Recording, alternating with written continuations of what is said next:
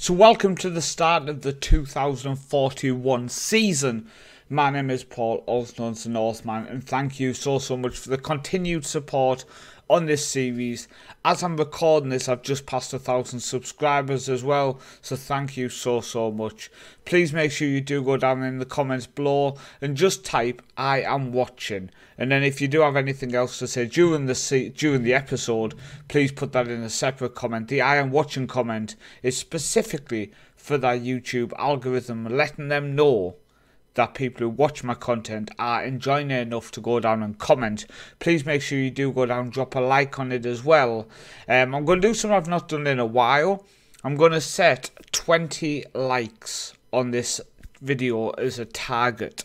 Now, if we get over 20 likes, see if you can blow that away. But my target is 20 likes. If 20 of you can go down, drop a like on this video. And um, we're in 2041, the season we're going to be doing today. So if we can get 20 likes on that, I'm blown away for a channel who my channel only started properly like releasing content ready for this FM23. So this is going to be the final season where I'm doing this video halfway through the season. Um, from 2042 this episode will only show before the season starts, I think. Um, and maybe, maybe if we're still in Europe, I will fit in the European stuff, but we won't show anything else outside the European games until the end of season review.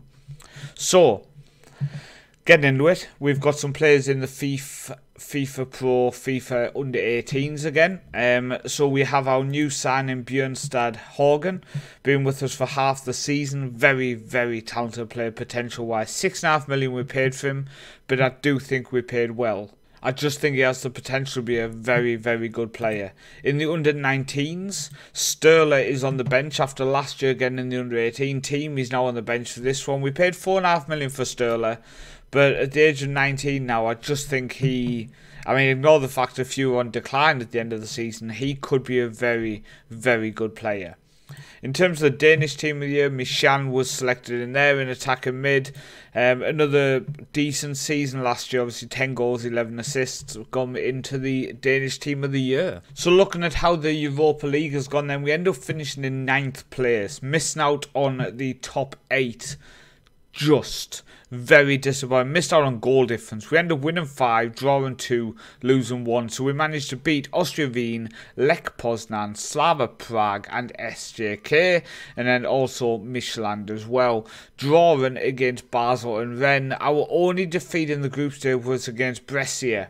Um, absolutely insane to think that we finished in the Europa League, not the conference, the Europa League in ninth place, and that took us through into the knockout rounds. So in the knockout round, we got drawn against Djurgårdens of Sweden, and we got a 2-1 victory away from home with uh, Little and Midskogen on the score sheet before they came back to the Fair Islands and the game finished 2-2 which saw us go through 4-3 on aggregate so we were through to the round of 16 of the Europa League. Now we got drawn against Brescia and we lost the game 1-0 at home in the first leg. Really disappointing. Uh, 10 shots to 16. It was a fairly even game but we just unfortunately fell short. And in the second leg, 15 shots to 8, 12 on target to 3. We lost the game 4 0. I don't think it was a 4 0 game, but we definitely didn't deserve to win. But this round of 16 in the Europa League, I would say, is our most successful season in Europe today. Now, I actually made some notes of how we've done in previous seasons. So, got my paper here. The UEFA Champions League group stages, we've been in six times. The Europa League, we've been in five times in the group stages, making it to the knockout rounds three times. So three out of the five times we've been, we've got into the knockouts. Conference League, we've been in the group stage twice, both times making it through to the knockouts. Now we got to the last 16 in the Conference League, and we've now got to the last 16 in the Europa League. So I'm absolutely delighted that we made it into the last 16 blown away. I do think it shows we are progressing. We've just got to hold on to the players we've got, keep pushing, and I honestly believe we are moving in the right direction now, heading forward to the next European campaign, which is about to start for me as I'm recording this obviously halfway through the season, but I am confident. So in terms of the players who have helped us there, we've spent big. We've spent 22 million going into this season. Um, so the first player coming in was a player I actually agreed to sign last season, but it just took a while for him to come in. Is a uh, Gudmundur Ingolfsson. Now he's playing for our B team this year. He is a defensive midfielder in my eyes. He's a decent player. Ignore again the fact that some attributes are dropping down. I don't believe they are. Um, in fact, I think. No, I can't. I was going to say, I, th I thought I can remove that whatever. Either way, he's a decent player. 19 years old, doesn't count as a foreign player. He had a good season in Belgium, so he did deserve to come to us. And he is doing really well for our B team. 7.38 average. He's settling into the Fair Islands nicely. Now coming in for 10.25 million is Marcelo Viotti. Now, these are the first signings who I have spent big, big money on. And I think he has a lot of potential. When you're signing them players from countries like Argentina, etc., you have to spend the money. You have to spend the money. And we've done it. And I honestly think he could develop into a very, very talented player. And yes, it's big money, but I honestly think we could make the money back if we did want to sell him. And the next player coming in hasn't broken into our first team yet, has joined us on a fringe contract for 10.5 million. Defensive midfielder again six foot and mentally insane, technically decent and physically very good. And he's only 19. So I honestly believe he could be a fantastic defensive midfielder for us. And then the final signing comes on a free transfer now. He was signed because he made it into the under 18s or under 20, under 18s or under 19 World Player of the Season. Um, so we picked him up. He's a winger he's not bad, you know. And the fact that he, the fact that he was in the best under 18s in the world as a Latvian on a non-contract. I just had to pick him up. We paid nothing for him. He's playing for our under 18s. We'll move up in our B team for next season. If he develops into someone who's a rotation for the league games, fantastic. If not, we're going to make money on him. 100%. So in terms of players who have left, first off, Rabbi has left. Now, never got a chance in our first team, was a B team player who we picked up. And um, we paid 215k for him to come play for our B team. Sold him for 1.3 million plus 50% of next sale. I never planned on selling him but I also wasn't sure where he would fit into us long term. So I honestly think it's a good sale. So he has left. Uh, Paulson's gone on loan to Vesta.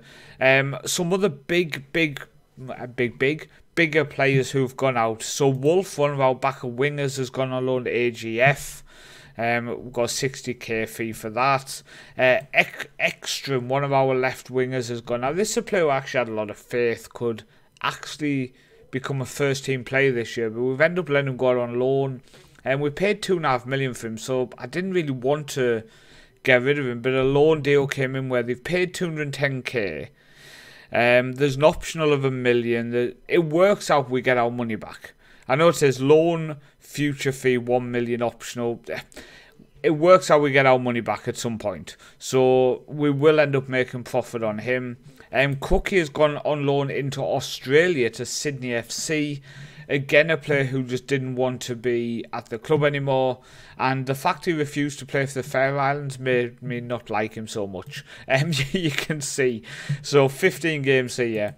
And this is roughly where he stopped wanting to play for the Fair Islands. So we end up um, going, do you know what? I'm not going to use you as much now. Um, the next player to go out on loan is Haddad.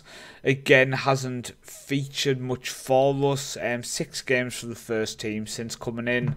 Uh, Jordan International gone out on loan.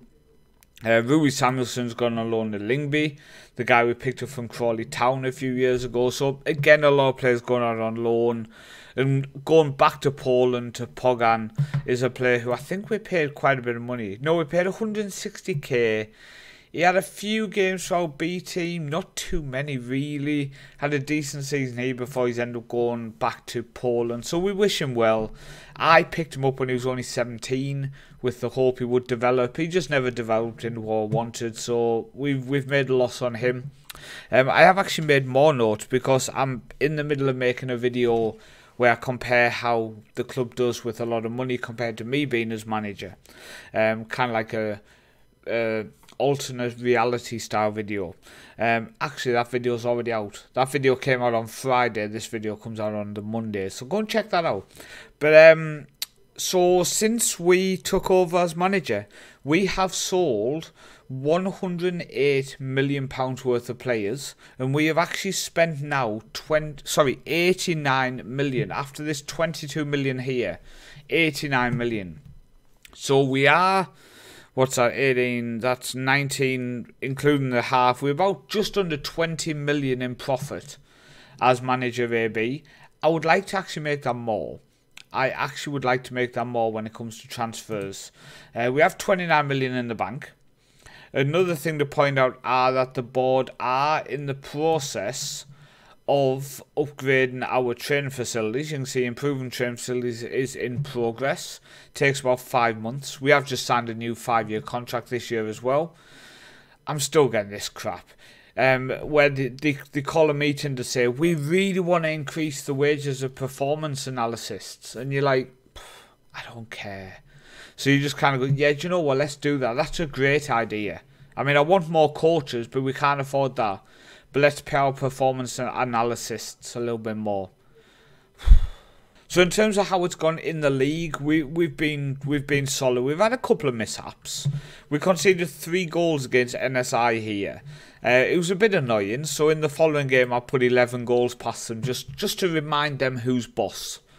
But um, yeah, we we fairly solid. We've won every game apart from one, which was at home to Vester, which we drew nil nil and.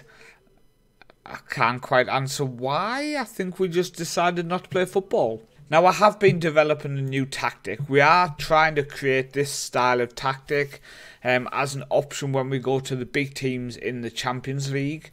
Um, it's not working too well at the minute, but I'm still trying to get to grips with it and understand the best way to get it to work better. But um, our tactics looking fairly strong this season. Uh, we do have a couple of players who are getting really, really touted around. Uh, Bjornstad Horger, who we obviously paid six and a half million. We looked at him at the start of the videos. He's made into the under 18s of the world, and um, he is wanted by a few teams, by Leverkusen, Brighton, Cardiff. Just realised my green screen moved along. That was a bit weird. Um, Gladbach, Hanover, Leicester, PSV, and Schalke are after him. Uh, Littlskar is wanted again by Mechelen and Stuttgart. Um, now, bear in mind that if we ended up selling him, we would have had paid 2.6, sold for 10.5, bought back for 1.9. If if somebody wants to pay over 10 million, I'll sell him again. But I'm not selling him for under 10 million because he is actually a goal scorer. But we are very, very strong. We are very, very strong. Now, someone I want to point out is Henry Pereira. Started the season in our B team, uh, played the first game, has since played seven games in the league for us and is pretty much one of our first choice central defenders now. Um, he's just performing very, very well. I would like him to learn how to head the ball better. Um, in fact, actually, we could select that on now, just make sure we don't forget. Get him to do that. That would be very nice. Another thing to point out is Mishan. We did discuss in one of the previous videos, some comments suggested to get him training the tries killer balls more often. So he is trying that. Um, also, he does like to run with the ball and dictate the tempo. So I have added to move in the channels. I'd already told him to run from position, but I'm just trying to get him to move around. Just go where he wants, do whatever he wants, dictate the game. Um, and Bjornstad are coming inside, so if he's moving out, I'm happy for that. I really am happy for that. But as a whole, we're looking really, really solid so far this season. Um, in terms of top goal scorers, it's Little Scara with 20 and 19 starts. Midskogen has 14 already this season. Now, last season he was in, well, last couple of years, 15 in 15 the season before, 4 assists. This season, sorry, it's last season, I'll get there in the end, 18 goals in 19. This season he has 13 in 12. So Andre Midskogen from the left wing has just been insane. Attribute wise, I wouldn't say he's the best in the world. But he is just insane. 25 years old now. I think. Yeah, he's away in the paperwork to actually become a Faroese national player. Now, he's already been capped by Norway. Norway doesn't count as a foreign nation in terms of registration. It doesn't matter so much. But, I mean, it's nice to see, isn't it? If anything, it's nice to see. In terms of other players who want us, Sturla is wanted by Hertha Berlin. Uh, one of our backup players, um, this Costa Rican who we picked up, I think, when he was 18, yeah, in 2029. So I think he's actually going to qualify as being at the club for three years under the age of 21 when it comes to Champions League registration. He is wanted by some clubs, but I would like to keep him around. He's wanted by Randers in Denmark. I'd like to keep him around because in terms of just generally, he's a solid, solid player. So I'm going to try to hold on. I'm going to try to hold on F1. I, to be honest with you, would like at the end of the season to update very few sales. I would like to say we've held on to most players. So it's going to be interesting to see how that goes. In terms of the B team, a couple of people to mention. The Icelandic left back, who is just a step above anybody really. We paid 400k for him and he's still only 17. He's playing for our B team this year at left back. Now he is right and left footed. He's probably going to be a right back for us long term. I do want to get this personality fixed, but apart from that, he could be insane. He really could be insane. Where he's playing well at left back. But I think the main thing for the B team I want to point out is the the experienced central defender I brought in to help help control us a little bit better has been our striker this season for the B team, scoring nine goals in 10 games with his finishing of two.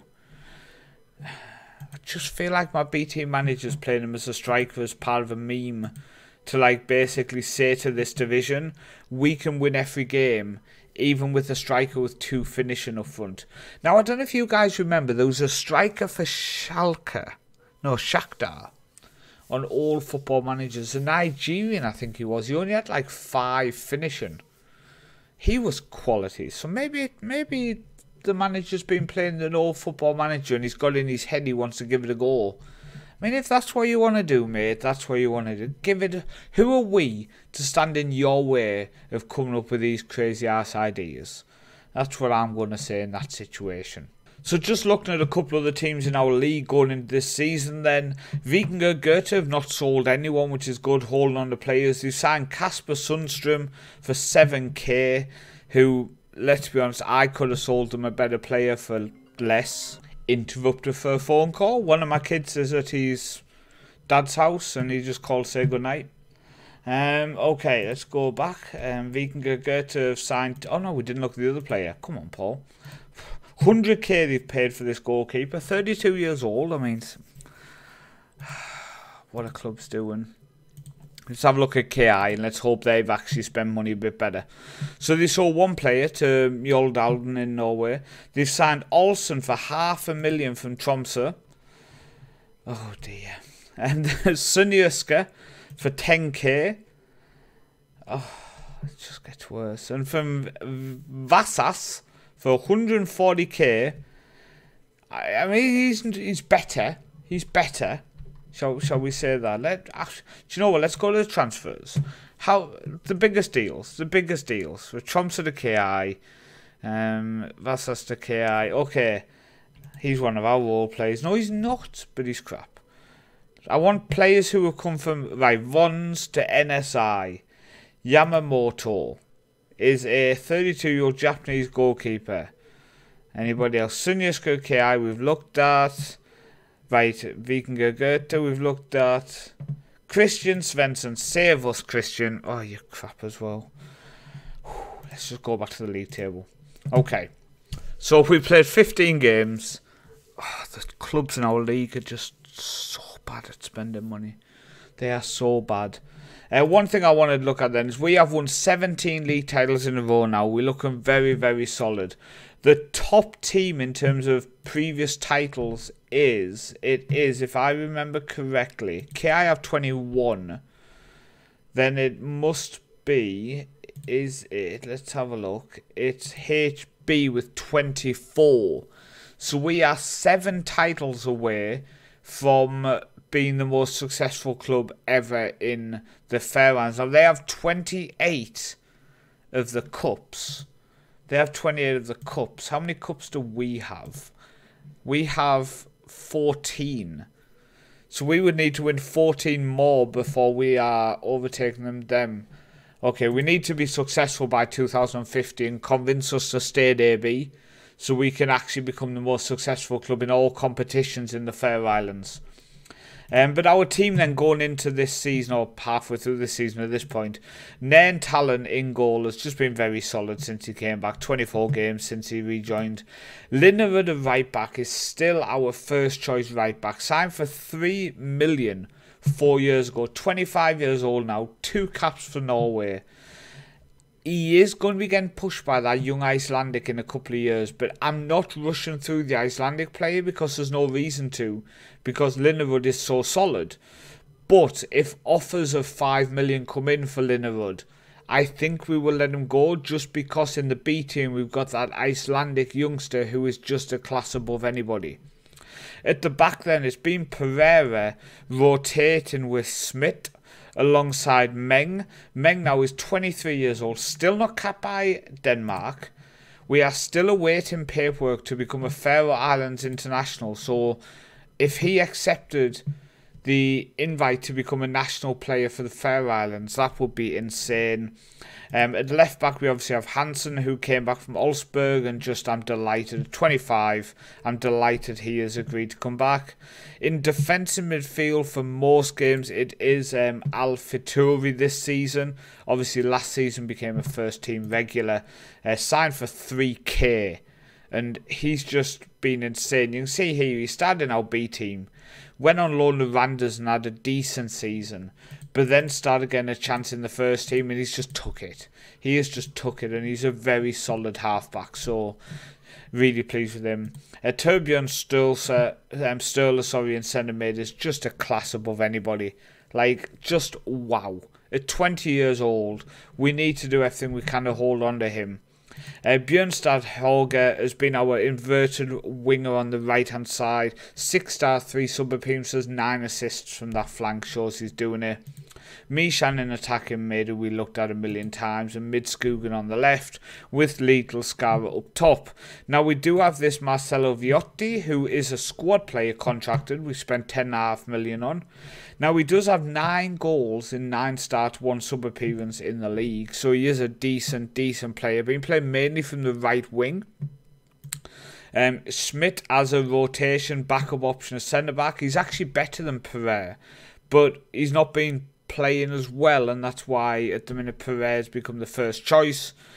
Um, and then a couple of the people I want to point out, Christensen has just never got back into the first team. He's very much a rotation option. We spent five million on him. He's wanted by Nuremberg. I honestly don't think we'll get our money back for him. I honestly don't think so. He's a lot more days away from getting a Fair Islands international um, ability to at least be capped. Will we hold on to him that long? I'm not sure. He's on a high wage. He's on a high um, expectation as an important player. He's not holding on that position at the club, so we might end up having to let him go. Uh, Inderberg, who we signed for 1.8 million, has really settled well. Seven starts, five goals, seven assists for so far. He's been a very solid player, still only 18. Really pleased with him. Then you have Ahmed Omar, our backup right back, who came back to the club. I did spend big to bring him back, but he's just a very good player, so I'm happy he's back. Gutterson still wants to leave. 27 years old, came through the academy. He's not even getting game time for the B team this year, which is it's upsetting because he is a decent player. Like he's not a bad central defender if his bloody personality was better anyway. Um, Mark Watson is now 18 years old, joined the club at the start of last season. Um, physically is his issue. He really does need to improve. I've got him worked on his um, quickness. We need Gaze agility up as well. 1.4 million for Sunyaska breakthrough prospect. I do still have a lot of hope he could become a very good first team player for us. Um, Kilberg's still at the club. I know I saw somebody in the comments saying free Kilberg. I have offered him out on loan. I have said to clubs, do you want him? But at the minute nobody's come in for him. 2043's contract runs out. I would rather hold on to him. He's 30 years old now. I just I just like him. I just don't want to sell him. Uh, is back at the club. If you remember, he pissed me off last year, so we sent him out on loan to Sonyeska, where he's been back now for the last couple of years, and he has starting to get a bit of a chance. Hopefully, he can step up and actually improve this year. One star, three sub appearances so far this season, two goals. Uh, Oscar Sundstrom has said he wanted to go out on loan because he want he didn't want to lose the opportunity. He didn't want to fall out of favour with his national team. He's never played a game for the for Sweden, so I don't know what national team he's on about. We are awaiting paperwork for him to become a Faroe Islands international. I am noticing like some of the Danish players, like Mishan even, they have been awaiting paperwork for about three years. And I noticed with Cookie it took about three or four years, so I hope that stuff comes through because these type of players, if they become Faroe Islands internationals, they will take us to the next level. And the final player I want to look at is Martin Jonsson, our youngster. He's still only 16, five caps for the national team now.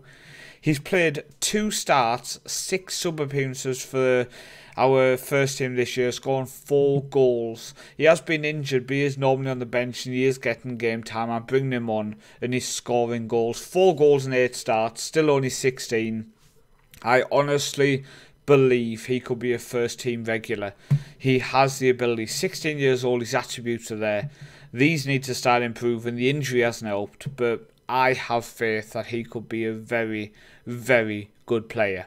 Now, the next step for me is within a couple of years, I do want to ask to build a new stadium. The new stadium should be able to be built in, um, I think, I think officially it's 2054. But I have a feeling maybe we can do it early. I'm not sure because we can't expand it anymore. Doesn't seem to be an option. Ask them to expand it, so it must be maxed out. So I think we need to save up money to do that. But at the same time, I want to spend over the next few years. So I'm going to try to find that balance. That if we sell someone for 8 or 9 million, I will spend that money back on the team. And we will try to push on. So by the time it's 2045, we are in the knockout of the Champions League every season. That's my aim. That's my aim to you guys. So I've been Paul, also known as the Northman. Thank you for watching. It means a lot. And I will see you next time.